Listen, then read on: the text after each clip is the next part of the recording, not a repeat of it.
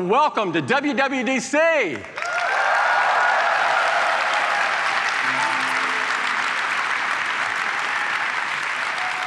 And tvOS is just one of the software platforms that we're here to talk about today. So let's get going.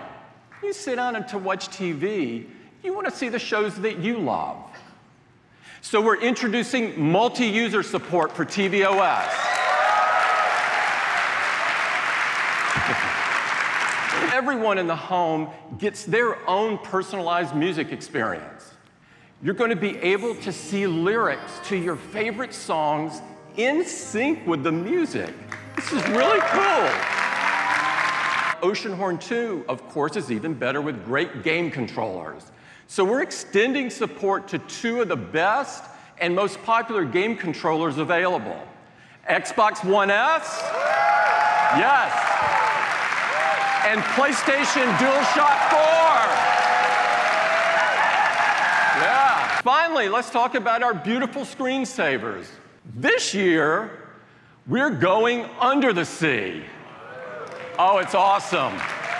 We've, we've partnered with BBC Natural History Unit to shoot beautiful 4K HDR footage, taking you to places that few people have ever experienced before.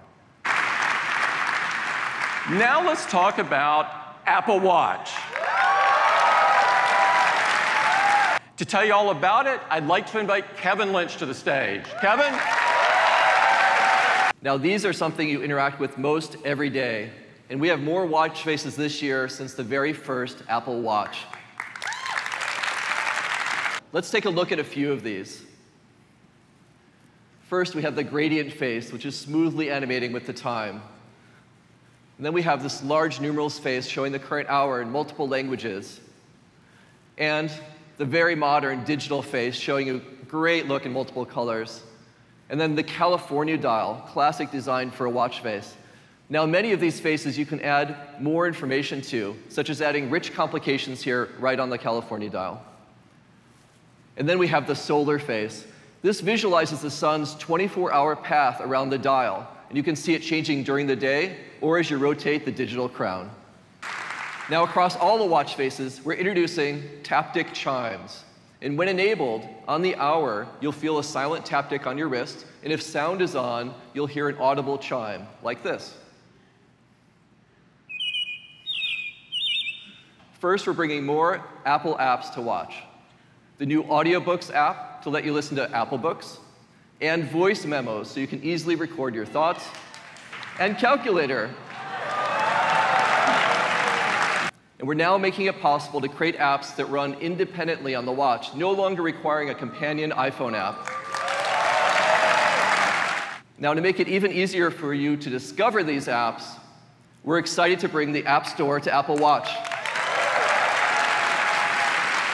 You can browse apps curated by our editorial team or find favorite apps like Headspace or Carrot Weather or Streaks, Nike Run Club.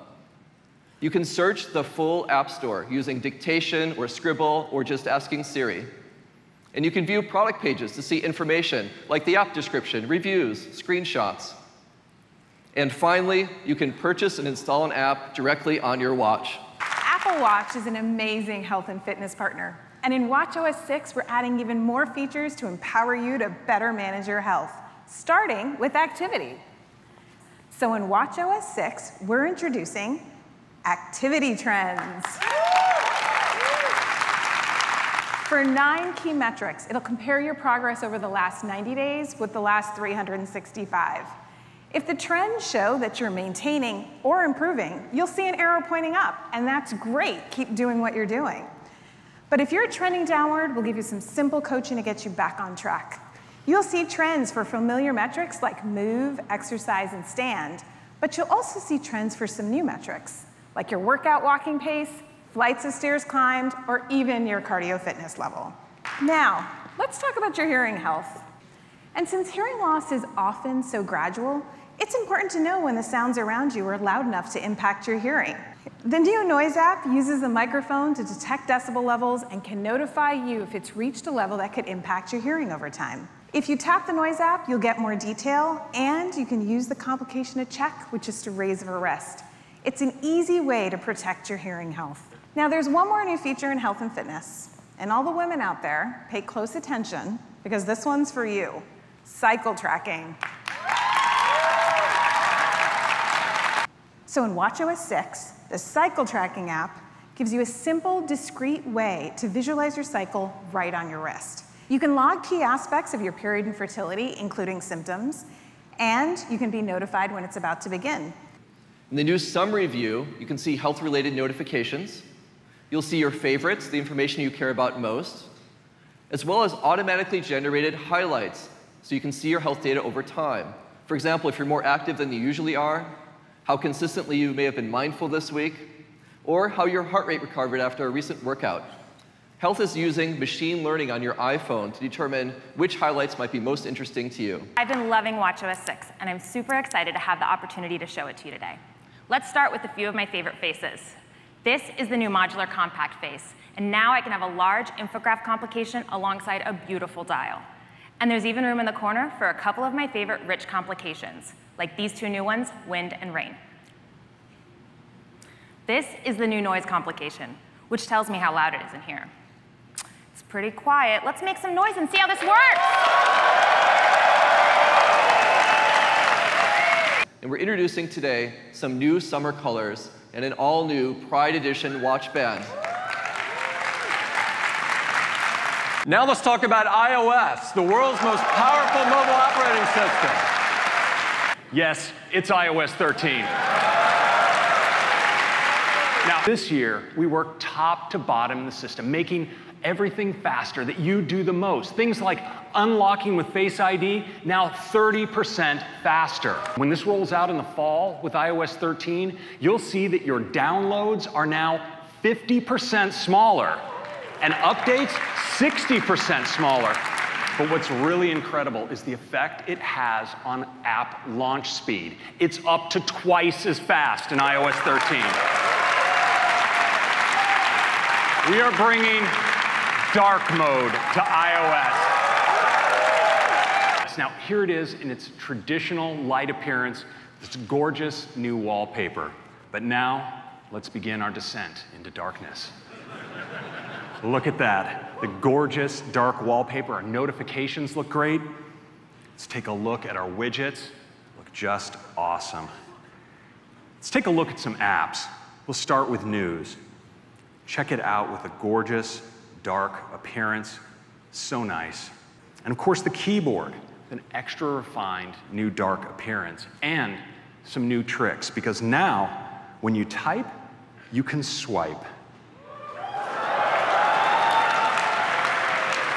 Let's start with Safari, Mail, and Notes.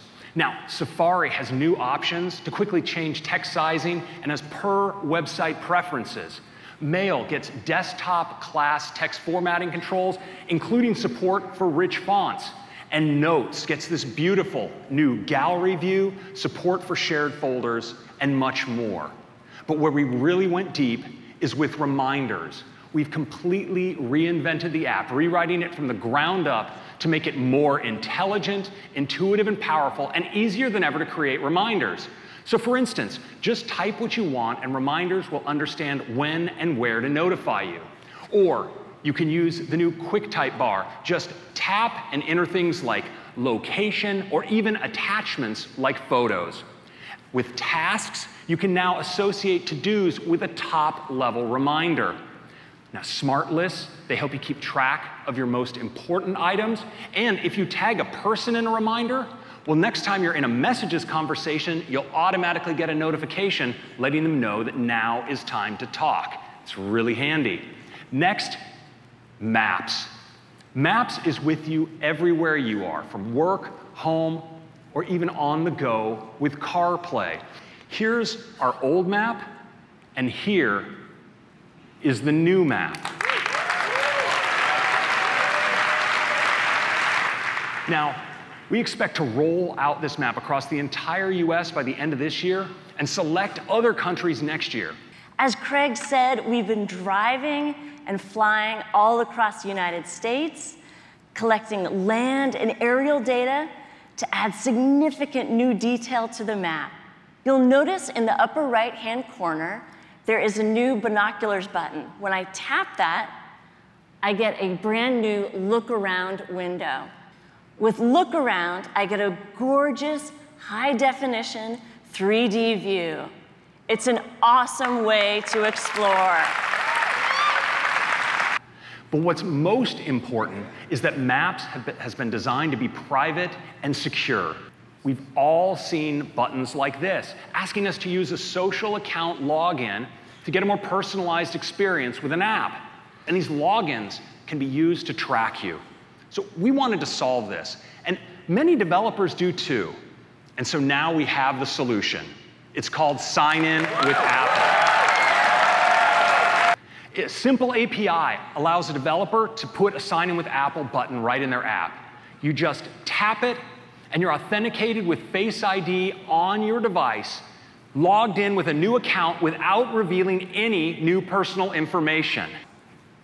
You can choose to share your actual email address, or you can choose to hide it. And when you do, we'll create a unique random address that forwards to your real address. Next, I want to return, return to HomeKit. Most home cameras today send people's video up to the cloud so it can be analyzed to tell the difference between maybe a leaf blowing in the wind and someone at your door. But unfortunately, this risks your privacy. We have a new way. It's called HomeKit Secure Video. Now, yes, HomeKit Secure Video, in that case, the video is analyzed in your home on your resident iPad, HomePod, or Apple TV. And then it's encrypted and securely sent to iCloud where no one, not even Apple, can see it. And so we're bringing HomeKit to routers. Now, with HomeKit at the router, we'll automatically firewall off each of your accessories. So even if one were to be compromised, it wouldn't be able to access your other devices or compromise your personal information. Next, I want to turn to camera and photos, where we've given you great new ways to capture, edit, and experience your photos. Because in iOS 13, we're taking portrait lighting to a new level. And it starts with a brand new effect we call high key mono. We're also extending portrait lighting so you can adjust the intensity of the lighting effect just like you could in a lighting studio by moving the lights closer or further away from your subject. So when you increase the intensity of the light, it's like virtually moving the light closer. This has the effect of smoothing skin, brightening eyes and facial features. Or you can pull it back for a subtle, more refined look. Then next, I want to turn to photo editing. You can see at a glance all your settings. And with just a tap and a drag, you can make adjustments. It applies across all of our existing effects and many more that are new to iOS 13. But what's really cool is we're bringing all of this to video for the first time. So now, for the first time, you can rotate a video. How about it? You can apply filters and all of these effects. It's just awesome. But you know, our biggest change this year is in the way you can browse and experience your photos. So now, we're using advanced machine learning to remove duplicates and clutter and let you focus on your best shots. So here we are in all photos. It's got a new home right here in the Photos tab. But we've also given you more control over how you can view all your photos. You can simply pinch to zoom out and see a bunch of photos, or you can zoom in to see more detail. Oftentimes, my best shots get lost in this sea of images. That's what Days is for. I just tap down here at the bottom, and you can see Days is absolutely beautiful. The clutter of the similar photos is gone. I can just scroll and enjoy now. So let's check out months. I just tap, and even moving between views is beautiful. So let's head over to years. So years gives me a high-level overview of my library. What makes years really special is that it's dynamic, based on my context. So today is Dub Dub, and Photos knows I go to DubDub every year. So now it's showing me all of my DubDubs from the past. Let's get started with AirPods, where we have a couple of great new features coming to iOS 13. First, when you're wearing AirPods, Siri will now be able to read your incoming messages to you as soon as they arrive, and you can instantly respond. Let's take a quick peek and see how it works. Amy said, Can you meet for coffee at 9 a.m.? Tell her I'll be there. It's sent. We have all had a time where we wanted to share a movie or a song with a friend. Now you can with just a tap. To make that transition seamless, we are bringing Handoff to HomePod. Now, when you walk through the door, just bring your iPhone close to your HomePod to instantly hand off your music, a podcast, or even a phone call. And you can just take it with you when you leave the exact same way. Let's shift gears to CarPlay where you can now have your music next to your maps and you still have room for Siri Smart suggestions, like a garage door opener when you get close to home, or a view of your next calendar event. You can see your whole day in the new calendar app. Music has been redesigned so your album art is front and center and beautiful. Siri stays out of the way so you don't lose sight of what's on the display. When we first started with Siri's voice, we used short clips of audio from actor recordings. So this year we have taken a huge step forward using cutting edge machine learning called neural text to speech. Let's have a listen together, starting with iOS 12. Absolute zero is the lowest limit of the thermodynamic temperature scale, a state at which the enthalpy and entropy of a cooled ideal gas reach their minimum value, taken as zero. Absolute zero is the lowest limit of the thermodynamic temperature scale, a state at which the enthalpy and entropy of a cooled ideal gas reach their minimum value, taken as zero. That's right. We're calling it iPad OS, and I'd like to give you a first look. So watch what happens when I swipe over. I can now pin my widgets right on my home screen. Let's just slide over from the right-hand side of the screen can see I have messages there right now. Now, I can, of course, change the app I have in Slide Over. I can just pick up reminders and uh, drag it on over. Now I have reminders in Slide Over. So next time I slide out, of course, there's reminders. But what if I want to get back to that last app? Could we make that super easy? The answer is yes.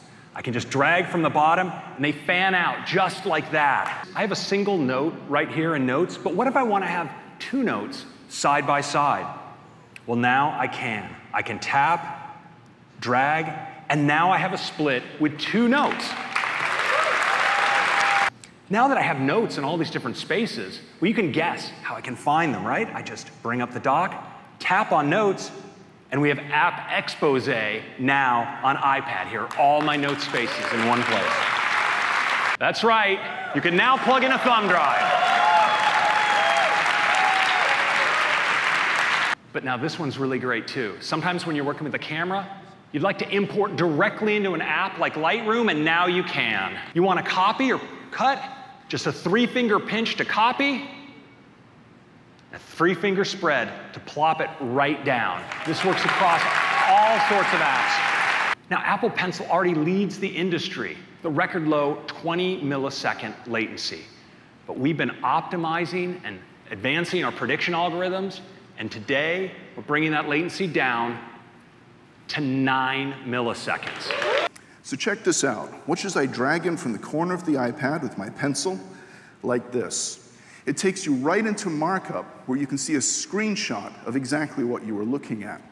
But many apps can now support a new full page capture mode, which you select with this button at the top. And here you can see the entire document that you were looking at. You can scroll through it or use the sidebar on the right there to quickly navigate.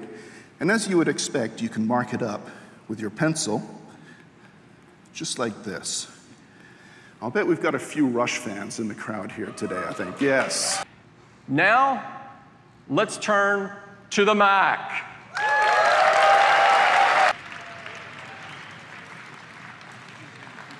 This is the new Mac Pro a system that offers virtually unlimited possibilities for customization. And key to this is a simple and elegant solution for accessing the internal components. And it provides a foundation for modularity and flexibility.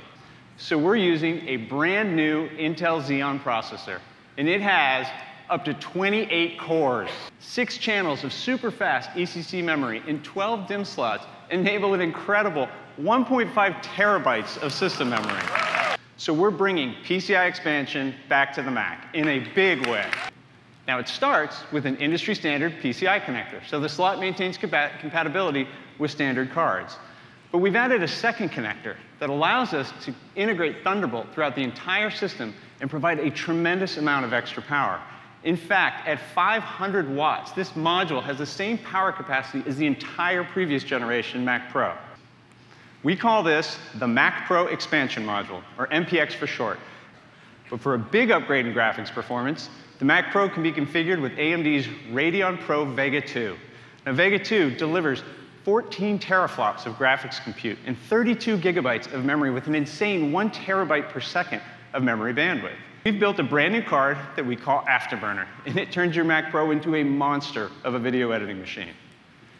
Afterburner is a hardware accelerator card that's built with an FPGA, which is a programmable ASIC. And this ASIC is capable of processing 6 billion pixels per second. But with Afterburner, the new Mac Pro can play back an incredible three streams of 8K ProRes RAW. To seal the thermal system, the beautiful aluminum housing slides over the frame and latches into place. And its unique three-dimensional vents are actually machined on both the internal and external surfaces. The resulting lightweight lattice pattern maximizes airflow while creating an extremely rigid structure. And finally, optional wheels make it easy to move the Mac Pro around your studio. Like the Mac Pro, the design is stunning and every element is built for pros. It's a 32-inch LCD display with over 20 million pixels. And with two 18 pixels per inch, it's a 6K Retina display. It has P3 and true 10-bit color and reference modes built in. We designed the rear lattice pattern to act as a heat sink, and this doubles the surface area, quietly extracting heat from each LED. This display can maintain 1,000 nits of full screen brightness indefinitely. And with these capabilities, we have taken this way beyond high dynamic range. This is extreme dynamic range, or XDR. And so we call this display the Pro Display XDR. There's one more feature that does not get much attention on other displays, and that's the stand, which is as pro as the display itself. First, it has an amazing counterbalancing arm that makes the display feel virtually weightless. And it has rotation for portrait mode. Yeah. It's the only display in the industry that delivers every feature on a pro's wish list and more. The new Mac Pro will start at $59.99. The Pro Display XDR will be $49.99 for the display itself. And the Nano Texture version will be $59.99. The VESA mount adapter will be 199, and the Pro stand 999. And like the Mac Pro, they'll all be available in, this, in the fall. It's macOS Catalina. The future of Apple Music, or iTunes, is not one app, but three Apple Music, Apple Podcasts, and Apple TV. Let's turn our attention to podcast. It brings a dedicated podcast listening experience to the Mac and it features all the great features you're used to in iOS, like Listen Now, where you can see new episodes and keep track of your listening across all of your devices.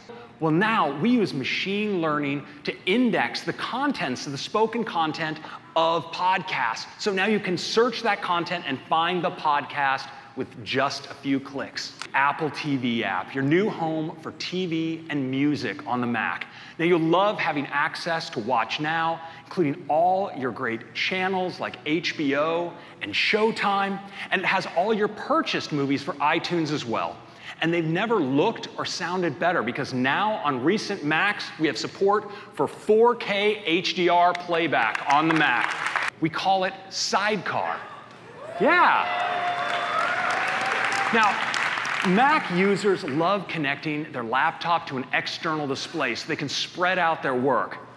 But often when they have to leave on the go, well, they got to leave that display behind. Well, no longer, because now you can use your iPad as a second display for your Mac. Wake up.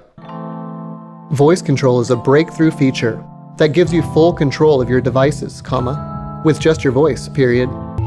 Let's ride this one today thumbs up emoji. Click send. Open Maps.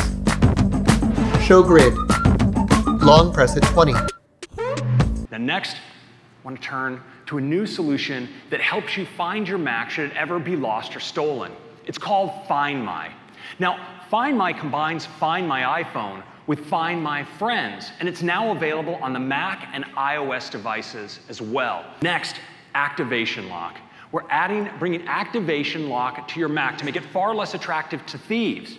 It's available on all Macs with the T2 security chip, and it works just like on your iPhone and iPad. I've been working on a new project that internally we call Project Catalyst. And it's new technology that lets developers quickly and efficiently create apps for the Mac based on their existing iPad apps. Now, the experience starts right here in Xcode. Just open up your existing iPad project, check the Mac checkbox. And just like that, you'll get a huge head start because Xcode automatically builds in all the fundamental features like cursor controls, window controls, and so forth. And that lets you focus on the finishing touches, maybe a translucent sidebar, pull down menus, or whatever features would make your Mac, your app just great on the Mac.